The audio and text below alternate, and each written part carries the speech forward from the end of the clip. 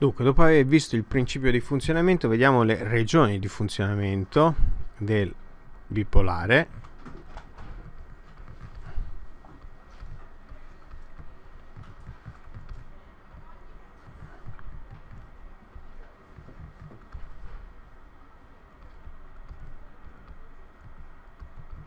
E partiamo da quella che abbiamo chiamato prima zona attiva diretta. Quindi la ehm, guardiamo adesso, dopo averla vista dal punto di vista del principio di funzionamento, adesso la guardiamo utilizzando il modello di Ebers e Moll. Dunque in zona attiva diretta abbiamo detto, parlando sempre del transistore NPN, che utilizziamo come riferimento, abbiamo VBE maggiore di 0 e VBC minore di 0. Quindi disegniamo di nuovo il circuito che corrisponde al modello di Ebers e Moll, cioè la base, l'emettitore, questo è il diodo di emettitore, questo è il diodo di collettore, il collettore e poi ci sono i due generatori controllati. Alfa F I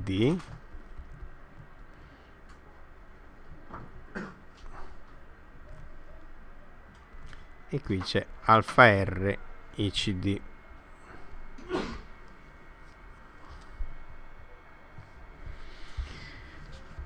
allora la cosa importante da considerare è che il diodo di collettore è polarizzato in inversa. Allora, quando è polarizzato in inversa ovviamente la caratteristica si semplifica molto. Vedete abbiamo VBC diviso VT come argomento dell'esponenziale poi meno 1 che cosa succede? Che praticamente in inversa l'argomento dell'esponenziale è negativo diciamo se VBC è abbastanza più grande di VT l'esponenziale complessivamente diventa trascurabile rispetto a meno 1 quindi in questa parentesi quadra il valore che otteniamo è praticamente meno 1 e quindi CD fa meno in CS Bene, quindi faccio questo trattino uh, del, dell'approssimativamente, ma insomma è molto, molto buona come approssimazione. Questo che cosa vuol dire? Vuol dire che se scrivo l'espressione della corrente di emettitore e della corrente di collettore, le cose si semplificano eh, notevolmente. In particolare, la corrente di emettitore è uguale a meno IED più alfa R ICD. Mi ricordate? Questo è guardando il nodo di emettitore. Questo è il, applicando il principio di Kirchhoff al nodo di emettitore. Quell'ICD è uguale a meno ICS, quindi questa viene meno IED meno alfa R IES. ICS, scusate. Analogamente per i C eh, vale questa relazione IC è uguale a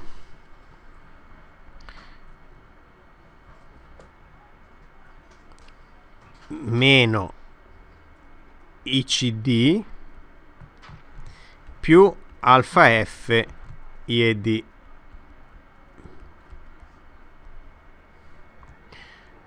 e quindi siccome meno ICD è uguale a più ICS, IC posso scriverla come ICS più alfa F IED.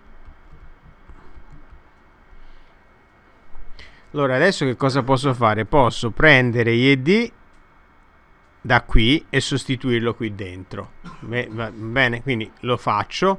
Mi viene ICS più alfa F che moltiplica che cosa? Prendo IED e esplicito rispetto a IED mi viene un meno IE meno alfa R ICS ok? Quindi mi viene più meno IE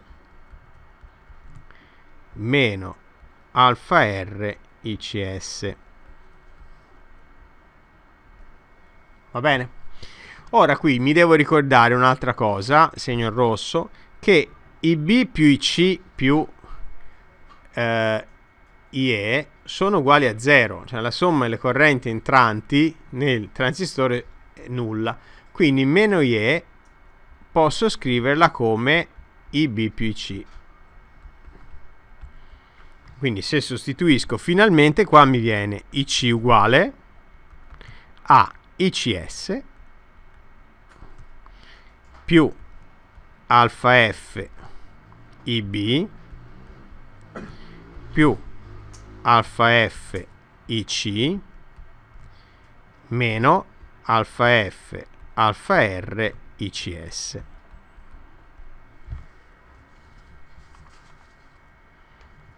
A questo punto sono arrivato dove voglio, io posso scrivere IB, eh, scusate, IC in funzione di IB. Vedete, ho due termini con IC, uno è questo e un altro è questo. Porto questo secondo termine a sinistra dell'uguale, metto in evidenza IC e scrivo l'espressione per IC. D'accordo? Faccio qualche semplificazione, in particolare questi CS ce l'ho qua e ce l'ho anche come ultimo termine, quindi posso metterlo in evidenza. Cioè un pochino di cosmetica, quando vado a scrivere l'espressione totale che cosa mi viene? Mi viene questa, viene IC uguale, messo in evidenza, a alfa f diviso 1 meno alfa f che moltiplica il b più 1 meno alfa r alfa f ics diviso 1 meno alfa f.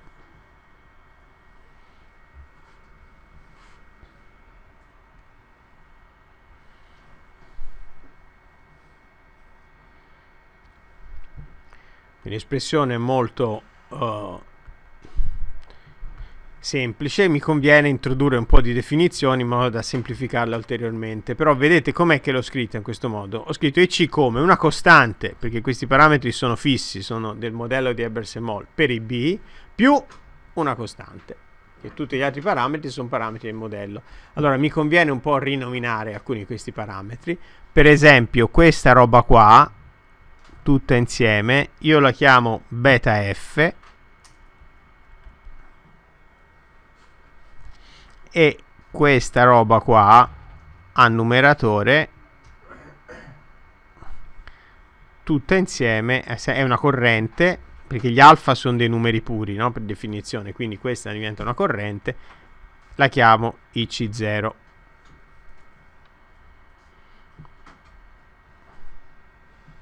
quindi beta è alfa f diviso 1 meno alfa f.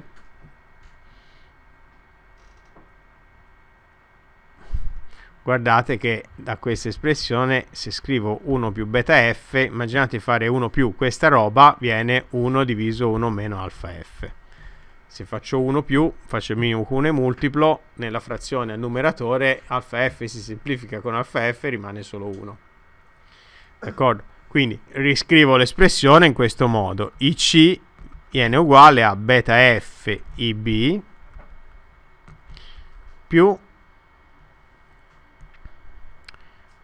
IC e più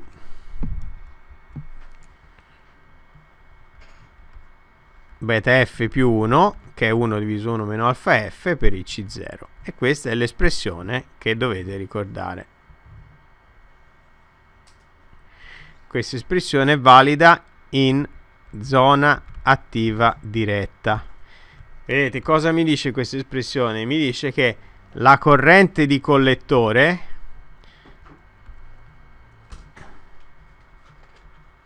è proporzionale alla corrente di base e la costante di proporzionalità è beta f più c'è un'altra quantità tipicamente piccola perché quella IC0 è una corrente di saturazione inversa moltiplicata per un fattore minore di 1.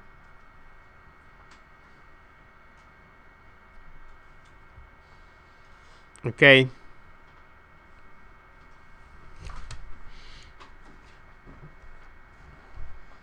Questo mi dà luogo al comportamento da generatore di corrente controllato da corrente. Vedete, se lo scrivo così, io ho che la corrente di collettore è proporzionale alla corrente di base.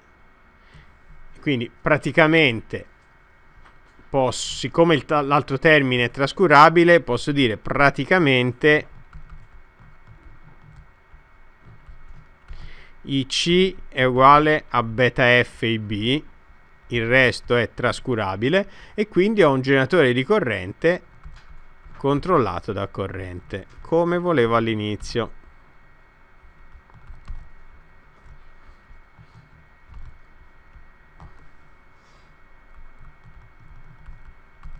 Quindi se metto il, questo cosa vuol dire? Che se metto il transistore così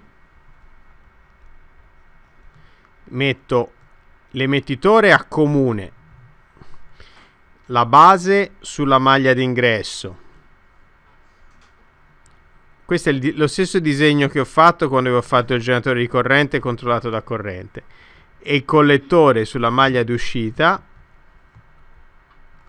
Vedete questo disegno? L'abbiamo fatto quando abbiamo fatto i generatori di corrente controllati da corrente. Nella maglia d'ingresso la corrente è IB e nella maglia di uscita la corrente è IC e ho che la corrente nella maglia di uscita è beta F per la corrente nella maglia d'ingresso. Scegliendo la corrente nella maglia d'ingresso io controllo, quindi la corrente nella base controlla la corrente tra collettore e emettitore. Va bene, quindi in zona attiva diretta il transistore bipolare si comporta come un generatore di corrente controllato da corrente. Quindi la corrente tra collettore ed emettitore è controllata dalla corrente di base. Esattamente quello che volevamo. Quindi è in questa zona di funzionamento che il transistore può funzionare da amplificatore o può funzionare da ehm, interruttore controllato, come abbiamo visto i generatori di corrente. D'accordo? Allora, questa configurazione si chiama configurazione a emettitore comune a emettitore comune ed è quella che si adopera per avere il comportamento che volevamo perché si chiama emettitore comune? Perché l'emettitore vedete è a comune della maglia di ingresso e di uscita. Il terminale a comune delle due maglie è l'emettitore e beta F si chiama anche, beta F si chiama anche guadagno di corrente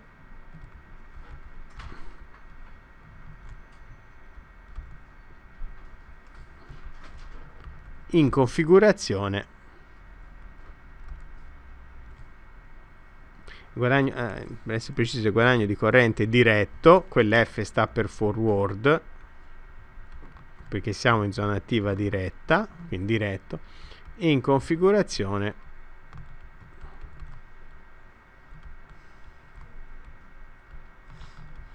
a emettitore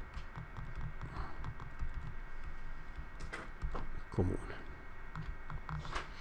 Perché si chiama così? Perché se noi mettiamo il transistore in configurazione emettitore comune e lo polarizziamo in zona attiva diretta, Beta F è il rapporto tra la corrente d'uscita nella maglia d'uscita e la corrente nella maglia d'ingresso.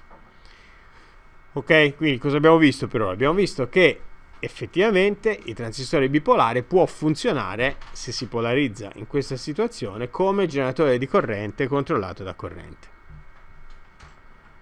Chiaramente non è il tipo di non è il tipo unico di polarizzazione che si può applicare al transistore bipolare, ce ne sono altri, adesso vediamo un po' tutte le regioni di funzionamento. Cosa abbiamo per esempio? Per esempio c'è un'altra regione di funzionamento che è la zona attiva stavolta inversa.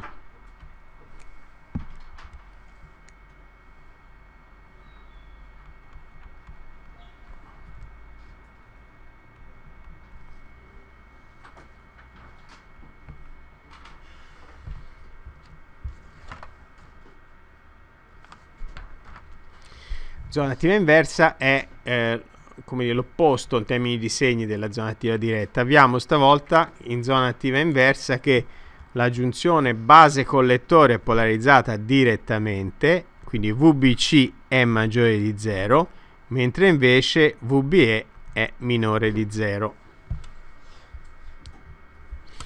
Allora, v, siccome VB è minore di 0, sarà il diodo di emettitore che sarà polarizzato inversamente quindi la corrente nel diodo di emettitore sarà uguale a meno la corrente di saturazione inversa.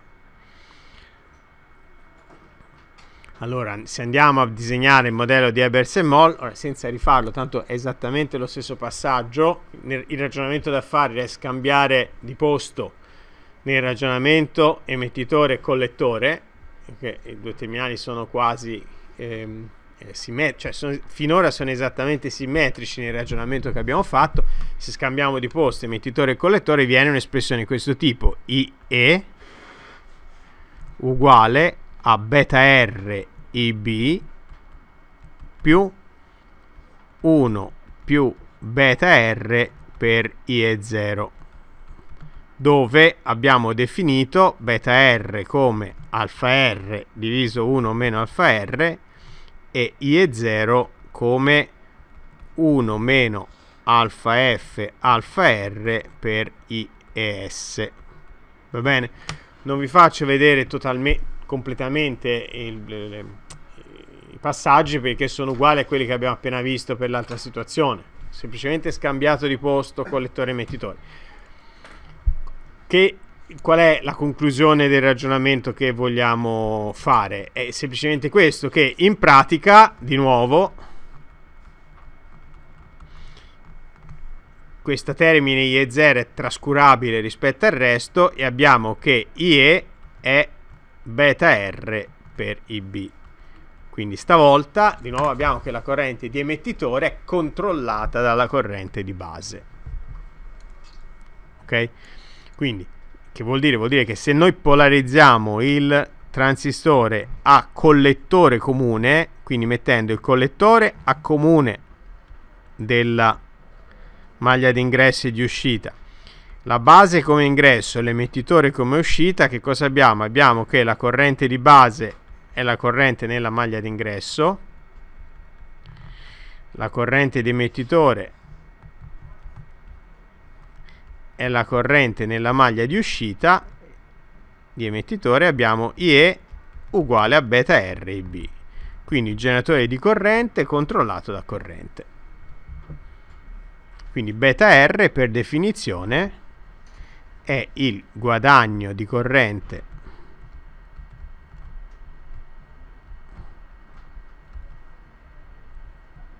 eh, guadagno inverso di corrente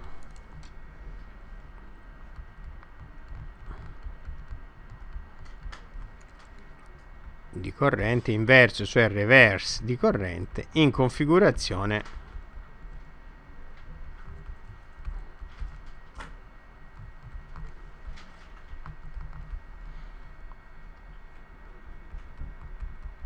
collettore comune. Quindi vedete ho scambiato E con C e C con E in tutte le circostanze, emettitore con collettore. Basta scambiare la posizione delle parole.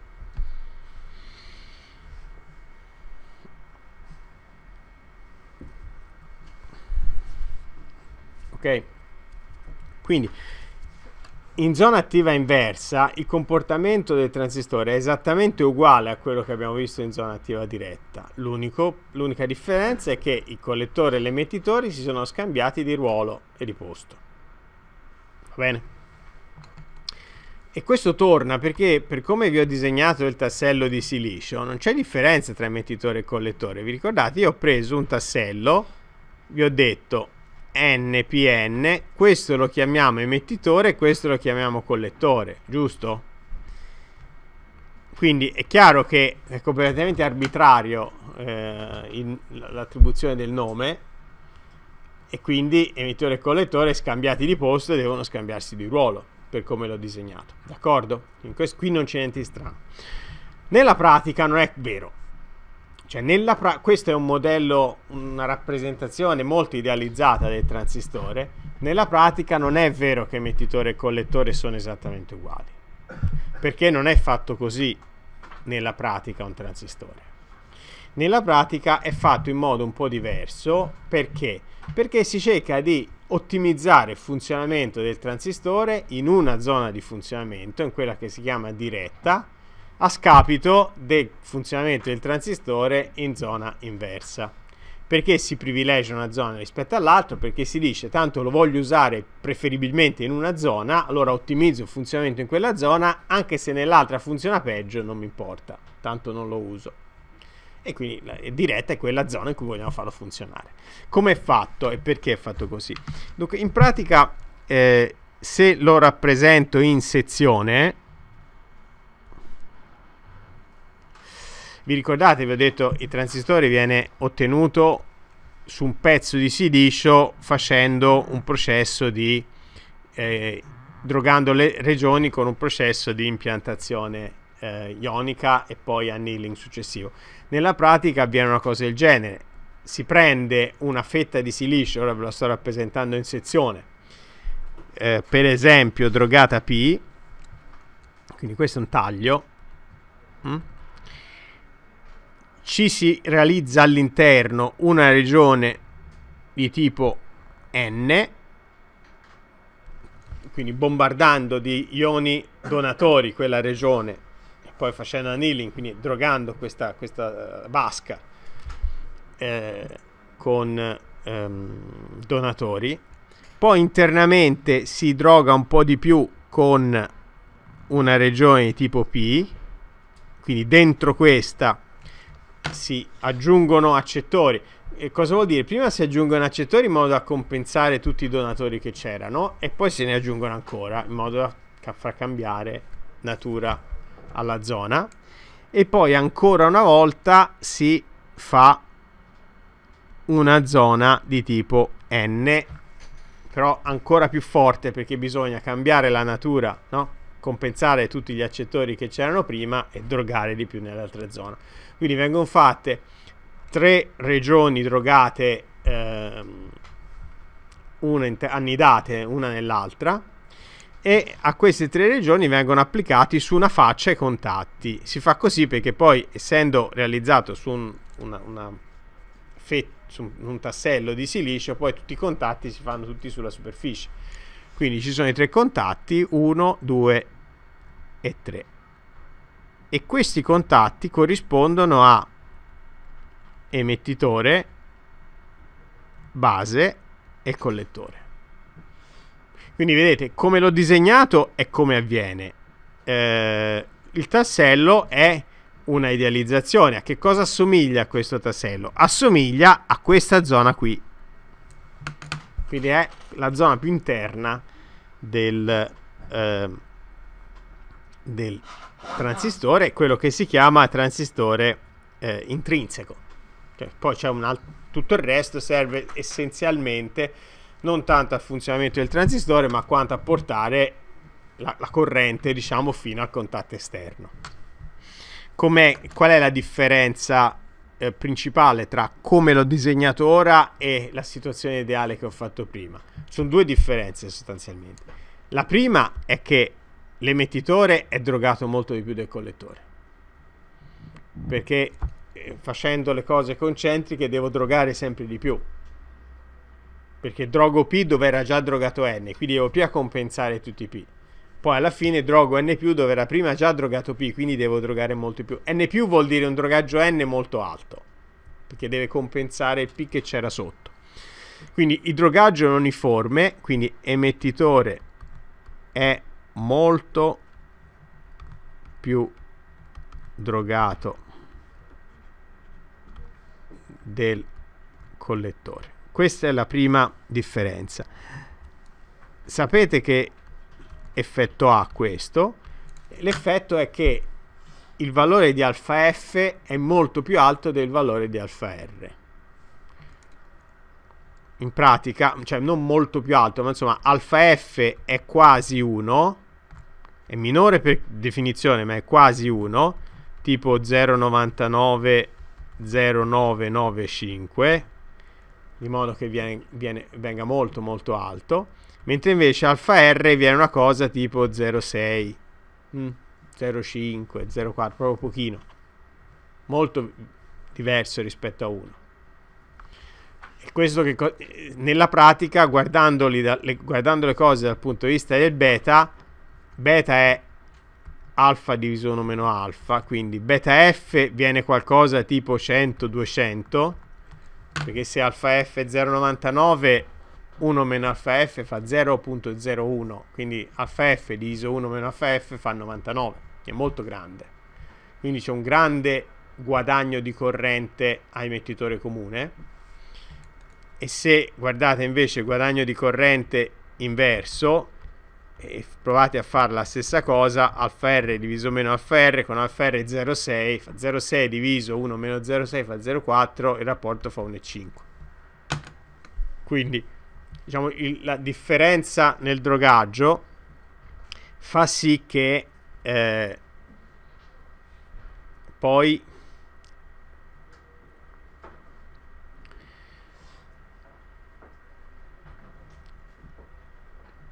convenga molto di più adoperare il transistore in zona attiva diretta che in zona attiva inversa perché il guadagno di corrente è due ordini di grandezza più grande. Ok? Questa è la prima differenza. L'altra differenza tra la situazione ideale e quella reale è eh, legata a, al fatto che ci sono c'è questo percorso per andare al transistore intrinseco al contatto esterno ed è una regione eh, diciamo con drogaggio finito quindi in pratica è come se avessi delle resistenze da attraversare che mi portano dal contatto all'esterno.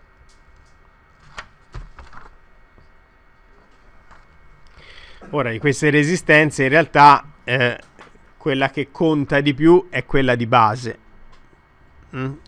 noi considereremo soltanto quella di base che è quella più importante perché in pratica quella di emettitore è corta quindi è bassa. È anche molto drogata quindi alla fine conta poco. Quella di collettore beh, potrebbe contare più perché è molto drogata però il collettore è largo quindi ha una resistenza larga che ha un valore basso mm? quella di base invece è mediamente drogata ma è molto stretta perché si cerca di fare la base più stretta possibile e quindi è quella rilevante d'accordo? Questo fa sì che io debba tener conto nella pratica, meno di non sbagliare molto nel, nel, dal punto di vista quantitativo, del valore della resistenza della base e questa la chiamo RB ed è una resistenza che tengo presente sempre. Quindi quando vado a fare il modello di Ebers e Moll in realtà ce la includo. Quindi ho una resistenza della base, questo punto della base intrinseca lo chiamo B', lo metto in evidenza e poi ho il modello di Ebers e Moll quindi è una correzione che faccio al modello di Ebers e Moll per eh, tenere presente questa RB è la resistenza serie della base. La resistenza che c'è tra il contatto di base esterno e la base intrinseca ripeto, dal punto di vista quantitativo è l'unica cosa che effettivamente mi importa. Oh, per completezza, se voglio andare a disegnare dall'alto questo transistore, cosa vedo? Vedo una cosa del genere. Vedo qua la zona di tipo N, poi dentro vedo questa regione di tipo P e dentro ancora vedo la regione di tipo N+. E poi vedo dall'alto i tre contatti.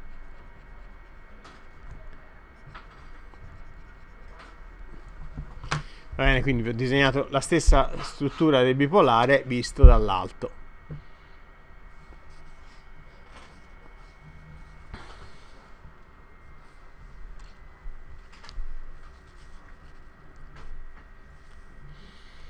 Va bene?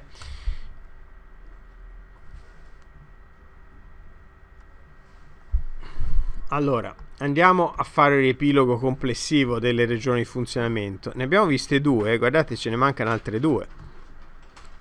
però le altre due sono molto rapide. Regioni di funzionamento.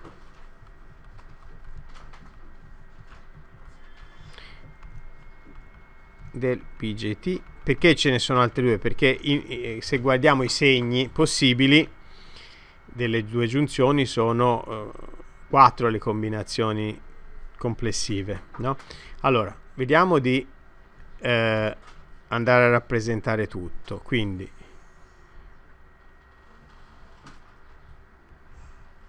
Ole. Poi questo lo porto qui. Questo lo porto qui.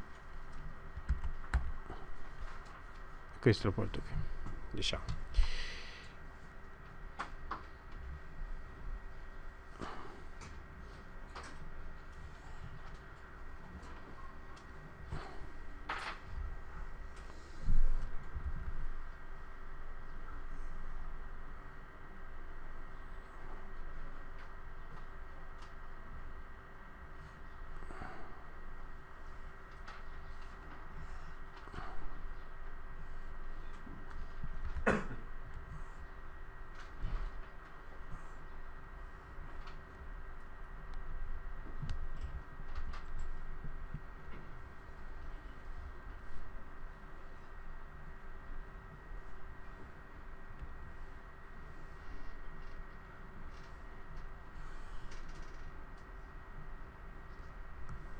Ok, vediamo un po' se ce l'abbiamo fatta così.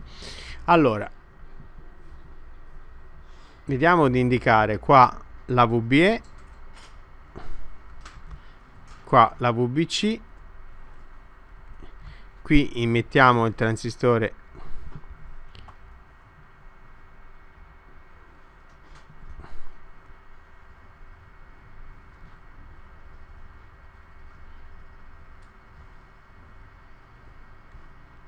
npn e poi scriviamo l'espressione allora ricapitoliamo le zone che abbiamo già visto insieme. La zona attiva diretta.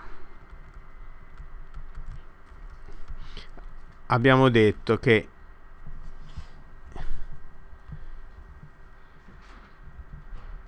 in zona attiva diretta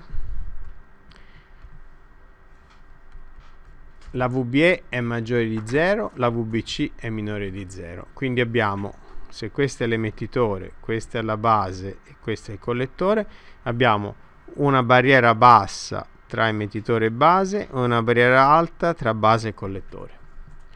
Quindi gli elettroni vanno dall'emettitore facilmente a diffondere nella base e poi finiscono nel collettore.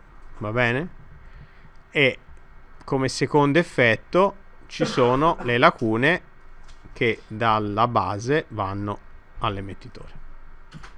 Questi sono i due componenti di corrente principale. In pratica la corrente di base è fatta quasi tutta in primo luogo delle lacune che vanno dalla base all'emettitore, in secondo luogo dalla, dagli elettroni, cioè dalle lacune che vanno a compensare gli elettroni che ricombinano nella base, insomma un effetto secondario la corrente collettore è fatta quasi tutta dagli elettroni che dall'emettitore vanno al collettore. Allora, qui abbiamo in questa situazione, abbiamo già trovato la eh, espressione, questo, questa qui è l'energia potenziale per gli elettroni.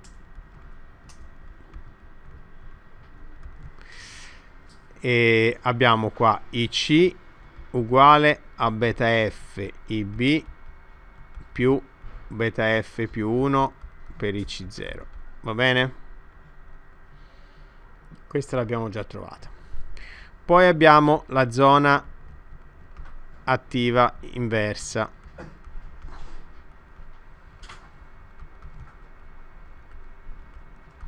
Zona attiva inversa la VB è negativa la VBC è positiva. In questa zona abbiamo una situazione opposta che è questa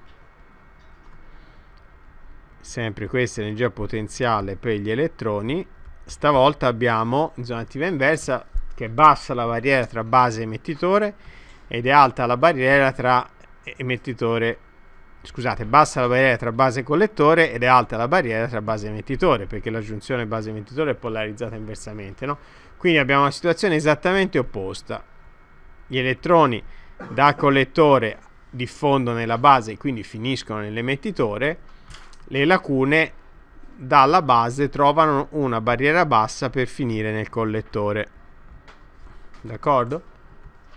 L'espressione idealmente è uguale alla precedente, cioè abbiamo IE uguale a beta RIB più beta R più 1 per i CI e 0 ok? Quindi tutto esattamente come prima. Diciamo l'unica differenza è che questa situazione è meno ottimizzata della precedente. In particolare l'emettitore prima era molto drogato e quindi la corrente dell'emettitore viene molto più alta di quella di, ba di base che dipende da quanto è drogata la base. In zona attiva inversa il collettore è meno drogato della base quindi la corrente dell'emettitore non viene più alta della corrente di base. Questo è il motivo per cui beta R è molto piccolo, d'accordo? Quindi idealmente la, il funzionamento è simile, nella pratica siccome i drogaggi sono diversi, il guadagno è molto più piccolo.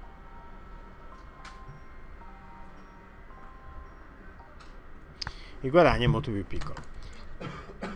Per completare, poi qua abbiamo una zona che si chiama, eh beh, abbiamo la situazione in cui tutte e due le barriere sono basse, cioè VB e VBC sono entrambi positivi, ok? Entrambe positive, quindi che vuol dire? Vuol dire che praticamente tutte e due le barriere sono basse, va bene? Se tutte e due le barriere sono basse, la corrente va facilmente da una regione a quell'altra. Tutti diffondono senza problemi perché la barriera è stata, diciamo, uh, uh, annullata. Questa zona di funzionamento si chiama di saturazione perché in pratica eh, quello che avviene è che la base viene saturata di elettroni è piena di elettroni la base e il comportamento analogo più semplice del, del, bipolare è quello di un interruttore chiuso. C'è un cortocircuito tra emettitore e collettore la corrente passa senza problemi ok ed è una zona di funzionamento che si usa in elettronica digitale perché quando vogliamo utilizzare il transistore come un interruttore controllato, beh, abbiamo due posizioni, chiuso e aperto. Chiuso e quando è in saturazione. Per concludere, c'è l'altra situazione in cui tutte e due le barriere sono alte, cioè le due tensioni di giunzione sono tutte e due negative.